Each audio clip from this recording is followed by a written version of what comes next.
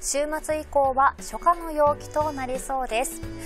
この先1週間の気温の予想を見ていきます。西日本や東日本は週明けにかけて晴れる日が多くなります。北日本の天気は周期的に変化していきそうです。期間の後半にかけて各地で気温が上がりやすくなっていきそうですね。特に週明け月曜日以降は22度23度というところも多くなっていきますが中には、まあ雲が広がって雨が降るような12日、13日でも関東以西のエリアでは25度以上夏日となるようなところが多くなりそうです。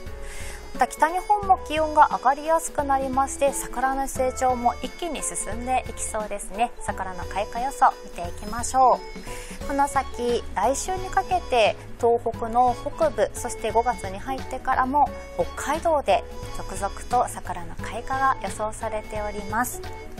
ぜひ今後の桜の開花予想気温もポイントになっていきそうですね。今後の桜の成長具合も気温にかかっていきそうです。この先の気温やお天気情報はアプリウェザーニュースからもご覧いただけます。ぜひご確認ください。